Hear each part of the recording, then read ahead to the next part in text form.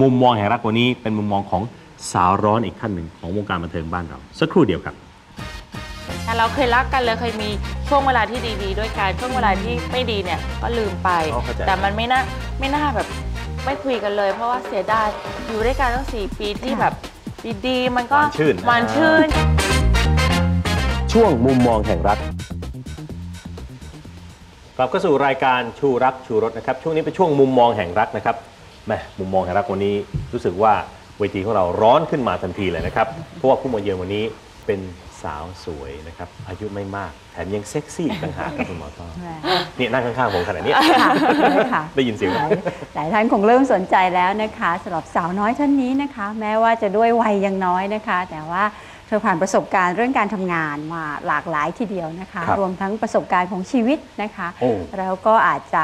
ถึงขั้นที่เรื่องของความรักไปจนถึงจุดที่มีการร้างราเกิดขึ้นอย่างนั้นะนเลคะยนะครับ แต่ว่าก็เป็นคนหนึ่งที่ต้องถือได้ว่าจัดการกับมรสุมลูกใหญ่ของชีวิตได้เป็นอย่างดีอะนะคะโอ้นะครับเรื่องราวของเธอน่าสนใจทีเดียวนะครับ ขอเชิญพบกับน้องเมย์พัทรวรินทร์ทิมกุล สวัสดีครับน้องสเมวัย์สครับดีค่ะ ต้องขอขอบคุณน้องเมย์เป็นอย่างสูงนะครับค่ะขอบสคุณละเวลานะคะมีค่ามาทำให้เวทีเราร้อนขึ้น โอ้โหเนี่ย เราคุ้นหน้าคุ้นตาน้องเมย์ที่จริงนานมาก เข้ามาในวงการตั้งแต่อายุยังค่อนข้างน้อยอะนะคะใช่ค่ะ เริ่มเข้ามาในวงการตั้งแต่อายุ 12ครับค่ะยังตอนนั้นเพิ่งกลับมาจากเมืองนอก แล้วก็มาเรียนที่รุ่นมดีค่ะ ตอนป .5 ค่ะป .5 ป .6 ค่ะปหมอครับผมนะค .6 รับค่ะแต่ตอนนั้นรู้สึกน้องเมย์จะทำหลายอย่างใช่ไหมคะเดินก็แบบเดินแบบเริ่มมาจากถ่ายมิวสิกวิดีโอค่ะให้พี่ดิโน่โอ้โหอะอะไรกลางวัน ไม่ใช่ไม่ใช่ค่ะชุดสองอ๋อชุดสองสองอ๋อจำเพลงไม่ได้เลยค่ะอ๋อแต่นานมากแล้วก็อ่าถ่ายโฆษณาเดินแบบแล้วก็ละครเรื่องแรกโสถันสองอะค่ะอืมค่ะ ปัจจุบันเลยครับ ปัจจุบันนี้ก็ทำงานให้คุณแม่เต็มตัวแล้วค่ะทำงานที่บริษัทค่ะ ที่โรงละครพัทราวดี แล้วก็ค่ะ ช่วยทั้งเบื้องหน้าแล้วก็เบื้องหลังค่ะ อืมนะครับ ไปกันที่งานถ่ายแบบหน่อย ค่ะเมื่อกี้ติดใจภาพช่วงยุค Millenniumไม่เลยเออ เขาบอก สีส่งศีรษะต้องโกนอ่าหัว ไม่ได้โกนค่ะมันเป็นถ่ายเป็นทาตัวสีเงินหมดค่ะจะให้ดูเป็นแบบเป็นเขาเรียกอะไรอะเป็นแบบ Millennium Millennium อะไรมันต้องออกเงินๆเงินใช่ไหมเงินอ่าใช่แล้วก็ใส่เป็นชุดว่ายน้ำเป็นเหล็กสีเงินนะคะอ่าแต่ว่าผมเนี่ยคือใส่เหมือนหมวกว่ายน้ำอะค่ะ cap นะฮะ cap อ่าหมวกว่ายน้ำแล้วก็ใช้คอมพิวเตอร์กราฟิกลบเอาอ๋อค่ะลบค่ะเอาค่ะ ส่วนชุดว่ายน้ำเนี่ยมันก็จะดู โป๊เล็กน้อยแต่จริง ๆ แล้วใส่กางเกงขาสั้นแล้วก็ลบเอาเหมือนกันเบื้องเบื้องหลังจริง ๆ ก็คือจริงๆมีเสื้อผ้ามีค่ะแต่คือว่าด้วยเทคโนโลยีสมัยใหม่ที่สเขามัยใหม่ค่ะที่เขาเรียกรีทัชกันเนี่ย retouch นะคะใช่เพค่ะราะฉะนั้นคนดูก็อาจจะรู้สึกเหมือนว่าเอ๊ะสงสัยตอนถ่ายไม่ใส่อะไร ใส่ค่ะใช่ใส่ค่ะใส่แน่นอนค่ะถ้าท่านไหนติดตามผลงานน้องเมย์เนี่ยนะคะเราจะเห็นว่าช่วงแรก ๆ ก็คือส่วนใหญ่เป็นเรื่องงานเดินแบบค่ะแล้วก็เป็นอาจจะเป็นแสดงมิวสิกวิดีโอแล้วก็ค่ะเริ่มเข้ามาในวงการละครค่ะแต่ช่วงหลังนี่ก็คือ มาเล่นหนังเต็มมาเล่นหนังตัวแล้วก็บทแรงเป็นบทที่เรียกว่าต้องใช้ฝีมือในการแสดงอย่างมากอะนะคะ แล้วก็ด้วยอายุยังน้อยแล้วก็มีการพัฒนาตัวเอง มาเล่นเราต้องเรียกว่าเป็นบทที่เล่นได้ยากอะนะคะ หลายคนก็ อาจจะพูดถึงตรงนี้ไม่ทราบว่าเมย์มองการพัฒนาตัวเองตรงนี้ยังไงบ้างคะ ก็ถ้าพูดถึงพัฒนาก็คงจะพัฒนานะคะเพราะตอนเด็กๆจำได้ว่าเล่นละครได้ ตลกมากเลยตลกตั้งใจหรือไม่ไม่ไม่ได้ตลกไม่ได้ตลกตั้งใจแต่แบบเล่นไม่ได้ยังไงอะค่ะแบบอ๋อหาไม่อย่างนั้นตอนนั้นยังไม่มียังไม่มีเทคนิคยังไม่มีอะไรค่ะก็ได้เล่นละครจากเมืองไทยเลยไปเมืองนอกตอนมหาลัยก็ได้ไป study performing arts แล้วก็กลับไปเรียนทางนี้หาไปเรียนทางนี้โดยตรงค่ะแล้วกลับมาคุณแม่ก็ช่วยฝึกช่วยอะไรค่ะ แล้วก็อ่าคิดว่าก็ได้รับบทอย่างนี้ เพราะว่ามันไม่ได้ยากสำหรับเมย์เพราะว่า เราเหมือนถูกบังคับให้โตเร็วครับค่ะ มันก็เลยอ่าค่อนข้างจะเข้าใจบทได้มากขึ้นค่ะ พอช่วงหลังมีชื่อเสียงมากขึ้น เป็นที่รู้จักมากขึ้นในฝีมือเนี่ยนะคะ คนก็เริ่มสนใจเรื่องส่วนตัวโอ้ความมากเป็นส่วนขึ้นตัวไม่มี นะคะเพราะรู้สึกว่าคนก็จะคอยติดตามอยากจะรู้เรื่องชีวิตส่วนตัวค่ะ อึดอัดไหมคะ กับไม่ไม่อึดกับอัดชีนะวิตคะเพราะตรงว่านี้ค่ะ ชินนะคะ เพราะว่าอืมคุณแม่เป็นศิลปิน อ๋อ เป็นนักแสดง ครับ ไม่เคยได้ชีวิตเป็นของตัวเอง ตั้งแต่เด็กก็เลยรู้สึกมันเป็นเรื่องปกติโอ้ค่ะเพราะว่าไปไหนกับคุณแม่ตอนเด็กค่ะๆก็จะแบบตอนแรกก็จะจะแบบเดินไปทานข้าวทุกคน เอ๊ะทำไมแม่ทำไมทุกคนต้องมองแม่แบบหงุดหงิดครับมีหงุดหงิดเล็กน้อย แต่คุณแม่ก็เฮ้ยเขาก็มองเขาปลื้มอะไรอย่างเงี้ยค่ะ ก็ก็เริ่มชินนะคะ ตั้งแต่ว่าไปไหนกับคุณแม่คุณแม่ก็จะเป็นแบบส่วนตัวแม่ลูกก็ไม่เคยได้เข้าใจค่ะ ก็เริ่มเป็นจุดก็แทนที่สนใจเราจะ ให้มันเป็นอ่าส่วนลบแล้วก็คิดไปในแง่ดีอะค่ะก็ก็เข้าใจว่าเราเป็นนักแสดงเป็นศิลปินเราก็เป็นคนของประชาชนก็ไม่เป็อันนไรนี้เป็นส่วนหนึ่งที่ต้องมาค่ะพร้อมกับใช่พร้อมกับงานตำแหน่งหน้าที่ใช่และอ่าฐานะทางสังคม นี่ถือได้ว่า born to be สุดยอดครับน้องเมย์อย่างไรก็แล้วแต่นะฮะทราบมาว่าคุณเมย์พบรักค่ะแล้วก็แต่งงานค่ะเมื่ออายุยี่20 ค่ะโอ้ก็เจออะเล่าให้ฟังหน่เจอยอตรงนี้เจอเขาเป็นใครที่มาอย่างไรพบกันเออนี่แหละเราเริ่มเจาะความเป็นส่วนตัวแล้วนะเออ ก็เจอพี่ฟรองก์นะคะพี่ฟรองก์อะ พี่ฟรองก์เจอตอนอายุเพิ่ง 18 ค่ะอืม18ค่ะที่เมืองไทยตอนนั้นที่เมืองไทย กลับมาช่วงคริสต์มาส ครับ ก็เจอช่วงคริสต์มาสปีใหม่นะคะแล้วก็ได้กลับไปเมืองนอกก็ยังคุยติดต่อกัน ก็ไปเจอกันที่เมืองนอก นัดเจอกันแบบเอ่อ พี่เขาอยู่อเมริกาเมย์อยู่แคนาดาอ๋อค่ะไม่ไลก็จะอ่จะบินไปเจออกันไปเที่ยวแต่ละเมืองค่ะแล้วก็อ่าตอนหลังก็จบกันทั้งคู่ก็ไปอยู่บอสตันด้วยกันค่ะ แล้วก็หลังจากอยู่ด้วยกัน 2 ปีนั่นนะคะก็ได้แต่งงานกลับมาเมืองไทย ได้แป๊บหนึ่งก็แต่งงานเลยค่ะอ๋อค่ะครับคุณเมย์ตอนนั้นอายุ 20 ค่ะนะฮะเล่าให้ฟังหน่อยชีวิตสมรสหลังจากสมรสแล้วเป็นยังไงครับก็อ่า ตอนแต่งงานปีแรกตอนอยู่ด้วยกันแรกๆดีมาก ไม่คือทุกอย่างดีหมดอะค่ะครับ อ่าแต่งงานก็ดี แต่ว่าช่วงหลังแต่งได้ปีหนึ่งสองค่ะ ปีก็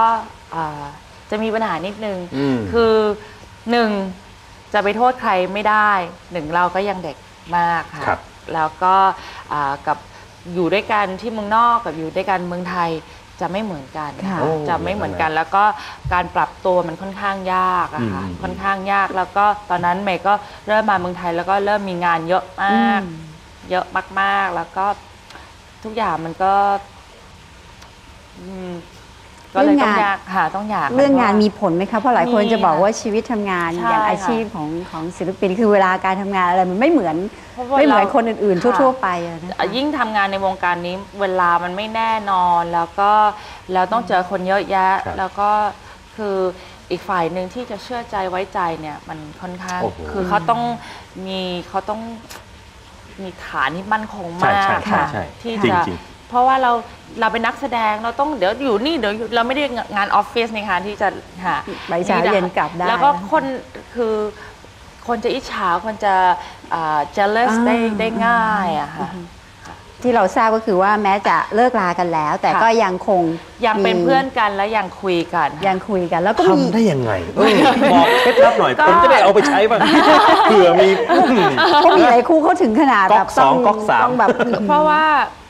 คือที่ต้องเลิกลากันไป เพราะหนึ่งหนูยังเด็กอยู่มากค่ะพี่เขาอายุมากกว่าเมย์เจ็ดปีค่ะเจ็ดปีค่ะห่างกันแล้วเจ็ดก็ปีเหมือนเรายังเรียนรู้กับชีวิตยังสนุกกับชีวิตอคยู่รับแล้วก็ยังอยากรักที่จะทำงานตรงนี้อืมอ่าพี่บางทีเขาไม่เข้าใจเลยอะไรอย่างเงี้ยคือทั้งทั้งคู่แล้วเราก็ยังเด็กอารมณ์ร้อนนะคะค่ะอันนี้ก็ต้องยอมรับนะคะอ่าแต่ตอนสุดท้ายเพราะเพราะว่ามีลูกแล้ว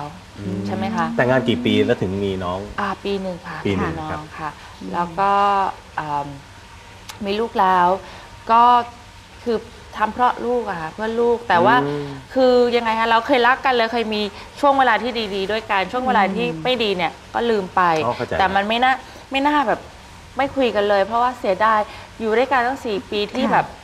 ดีๆ มันก็หวานชื่นหวานชื่นใช่ไหมคะความรู้สึกดีๆ ดีๆยังอยู่ค่ะเราครับไม่น่าทำลายความรู้สึกตรงนั้นไปค่ะ ก็คืออ่ารู้คนอยู่ด้วยกันนานขนาดนี้ มันไม่ต้องมานั่งถามว่าชอบสีอะไร มันรู้มันมองหน้ากัน ก็รู้แล้วว่าครับ ค่ะว่าใครคิดอะไรอยู่ค่ะ ก็เลยเป็นเพื่อนที่ดีเป็นที่ปรึกษายังคุยกันอยู่ค่ะ ก็เลยมีลูกเป็นนะเป็นจุดเชื่อมค่ะ ความสัมพันธ์ระหว่างทั้งสอง ค่ะ งั้นขอถามน้องเมย์ย้อนกลับไปนิดหนึ่ง ค่ะ ถ้าเกิดวันนี้น้องเมย์ย้อนกลับมองกลับไป ระหว่างความสัมพันธ์ของน้องเมย์ที่มีกับพี่ฟรองก์เนี่ย ค่ะ ช่วงนั้นน้องเมย์ตอบได้ไหมครับว่า ความรู้สึกที่มีเนี่ย มันเป็นแค่อารมณ์ หรือมันเป็นรักแท้ครับ อืม ให้พูดว่ารักแท้หรือแค่รมเมย์คิดว่าตอนนั้นนะคะที่เจอกันในความรู้สึกมันคือรักแท้นะคะให้พูดถึงตอนนี้ มันก็ยังเป็นรักแท้ เพราะเมย์ไม่สามารถพูดได้ว่ารักแท้คืออะไรอืม แต่แต่เมย์จำได้ว่าความรู้สึกในตอนนั้น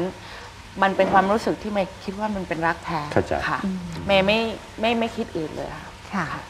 ทีนี้ถ้าสมมุติเราย้อนเวลาได้ตี้ต่างเรามีถามแม่ชีค่ะ นะคะกลับไปเพราะว่าอย่างที่ว่าคือน้องเมย์เริ่มต้นชีวิตอะไรในตัวเองหลายอย่างตั้งแต่อายุยังค่อนข้างค่อนข้างค่ะเร็วทุกอย่างเนี่ยนะคะค่ะถ้าย้อนเวลากลับไปได้เนี่ยอยากเปลี่ยนอะไรบ้างไหมคะในชีวิตช่วงที่ผ่านมา ไม่อยากค่ะ โอ้โหไม่อยากค่ะอืม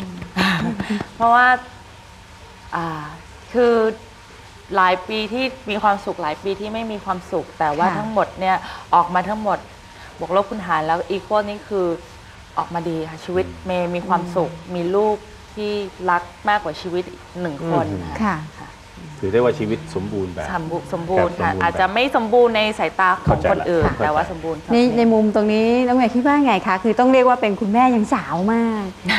นะคะเพราะว่าเรียกว่าถ้าอีกหลายท่านก็อาจจะยังไม่มีลูกยังไม่มีภาระอะไรยังสนุกสนานกันอยู่เลย แต่ว่ายังไงอย่างที่คุณเมย์พูดว่าตอนนี้มีลูกคนหนึงซึ่งรักมาก แล้วก็เขาก็เป็นเหมือนอะไรอย่างหนึงที่เราต้องดูแล ในชีวิตที่ต้องใช้ชีวิตแบบคุณแม่ยังสาวนี่คุณเมย์คิดว่ายังไงคะ ก็บางทีก็คิดถ้าไม่มีลูกชีวิตเราจะเป็นยังไง เราอาจจะไปอยู่เมืองนอกกลับไปอยู่เมืองนอกก็ได้ จะไปเที่ยวไหนก็ไปเที่ยวอิสระมากขึ้นอิสระอ่าอยากไปทำงานที่แน่นอน ไหนก็ไป แต่ตอนนี้คือมันไม่ได้ฮะจะไปทำงานเมืองนอกจะไปเรียนต่อแล้วลูกเราสิคะจะจะให้เขาไปตามเราไปทีทีละประเทศมันก็ไม่แฟร์สำหรับลูก บางทีเราก็คิดเอ๊ะ เราเรามีลูกเร็วเกินไปหรือเปล่า แต่เราคิดอีกทีหนึ่งตายแล้ว ลูกเราเรากลับบ้านเขาอยู่ตรงนั้นทุกวันตื่นเช้ามาเราเห็นเขาทุกวัน บางทีเราอารมณ์เสียเขามาเต้นเต้นเต้นเต้นเต้นอะไรก็ของเด็กอะค่ะค่ะแล้วเขาเขาทำให้เรายิ้มได้ แม้เราจะอารมณ์เสียขนาดไหน บางที บางทีก็อยากเขย่าแบบแบบไม่ไหวแล้วเงียบหน่อยลูกอะไรอย่างเงี้ยแต่ว่าไม่มีเขาเนี่ยแล้วมันแป้วอะแบบเวลาไปส่งลูกที่โรงเรียน แล้วขับออกจากโรงเรียนแล้วแบบอยากยูเทิร์นกลับไปหา หรือว่าเวลาลูกหลับ ก็จะมองไปเรื่อยๆ แล้วเขาก็หลับแล้วก็เราก็จะเข้าไปนอนของเรา แต่เราก็คิดถึงเขาตลอดแล้วก็ถ้าหากว่าให้เลือกชีวิตที่ไม่มีลูกกับมีขอมีดีกว่าเข้าใจเพราะว่าค่ะแล้วมก็องเห็นเขาแล้วก็วันนี่แหละ คือส่วนที่เติมให้ชีวิตเราเนี่ยค่ะเต็ม แล้วลูกเนี่ยทำให้ชีวิตเมย์ดีขึ้น อืม เป็นคนเป็นผู้ใหญ่ขึ้นมีหลักความรับผิดชอบขึ้นแล้วก็ คือเหมือนเมื่อก่อนเราจะเที่ยวไป เราต้องเอ๊ะต้องออกไปทานข้าวตอนนี้ไม่ต้องไปไหนเลยครับ มีมีแต่ลูกคนเดียว ครับคำถามสุดท้ายครับน้องเมย์ค่ะครับ ทุกวันนี้ความสุขของน้องเมย์นี่อยู่ที่ไหนครับ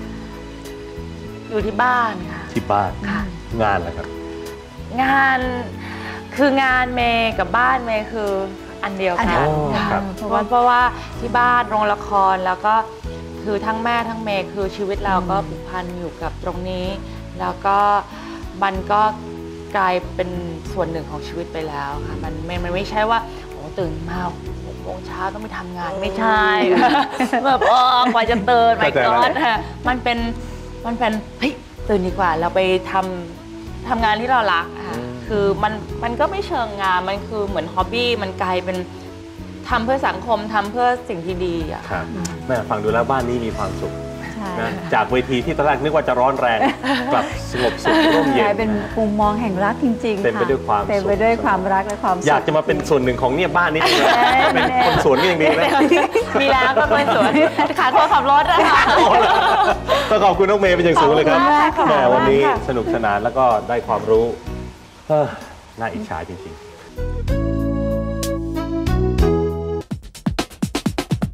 Mambo number five.